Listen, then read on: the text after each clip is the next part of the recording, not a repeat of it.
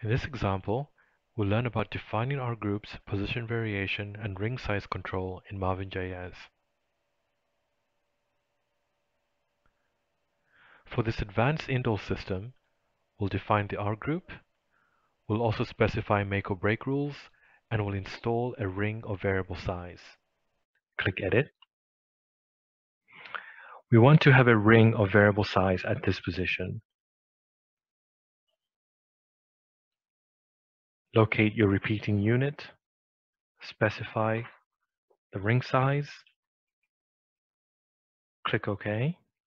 Next, we'll use the position variation tool to specify substituent at either one of these positions. Under your bond tool, click your position variation and simply specify click your R group and convert that to an R1. Next, we need to define what R1 should be. Under your periodic table tool, toggle atom list, we want this to be a series of halogens. We'll position these here. We also want R1 to be a Reaxys generic. Click the orange R. Under cyclic, we want this to be a heteroaryl group. And position that there. We also want R1 to be a carbonyl group. Click your bond tool and sketch out your carbonyl. Again, you can hover above your keyboard and use O. And we can go back to our atom lists. We'll toggle this again. We want this to be a nitrogen and oxygen. We then need to specify attachment points. This can be done two ways. You can right click and choose R group attachment, or you can use your R group attachment tool. Finally, we need to group these and associate them with R1. Simply use the R group selection tool and then close your components. If you hover above these, you'll see square brackets confirming that. You can click this again and re-specify your R group numbering. Transfer to the query, click Find. We get 503 reactions. Let's view the results.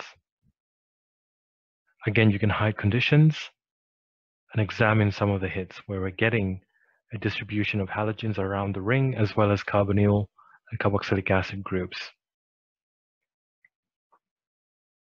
Back to the quick search, click Edit, and click Edit once more. We're going to get rid of this reactant simply use your eraser tool and select the component you want to delete. And we want to specify that this bond should not be made or broken. Simply right click, go to bond properties, and enforce that rule and click OK. Then transfer to the query, click find. This time we get 77 reactions. And these all give access to these analogs of that indole system whereby these two ring systems are undergoing cyclization. Again, we can hide conditions. We can limit single step. Click limit to.